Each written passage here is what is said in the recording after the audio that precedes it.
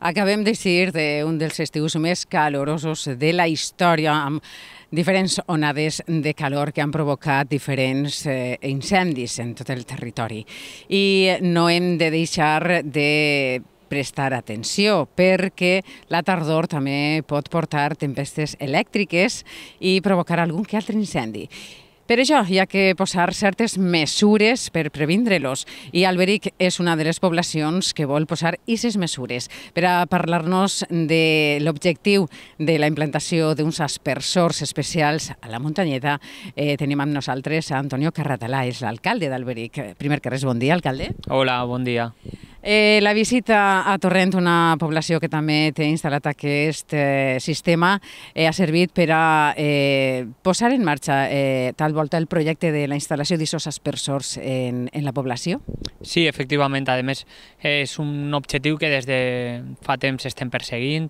Eh, tots coneguem la sensibilitat i l'amor que tinguem al nostre poble a aquest espai tan especial i pense que un dels nostres reptes i un dels nostres principals objectius té que ser la absoluta protecció d'aquest paratge i pense que un de, una de les majors eh, pues, eh, reptes té que ser protegir-lo dels incendis i per això pues, este sistema que ja està implantat en Torrent pues, eh, el visitar-hi i pensem que és algo que se pot ajustar moltíssim a la realitat i a la necessitat del nostre poble i la veritat hem començat a treballar en aquest sentit i tinc molta il·lusió que en els, en els propers mesos pot ser una realitat i que bueno, pues, anem a, a treballar per a dur a terme este, este projecte tan ambiciós. Eh, breument, en què consistiria eh, aquest eh, sistema d'aspersors que tinc entès que és eh, de 50 i pico metres d'alçada, no? Sí, efectivament. Bueno, per un costat primer seria instal·lar una red de sensors dins de, del paratge, sensors tant de temperatura, humitat com CO2, i estos, estos sensors servirían para que un sistema automàtic eh, pugui detectar quan hi hagi un risc molt elevat d'incendi o bé que n'hi hagi ja un incendi.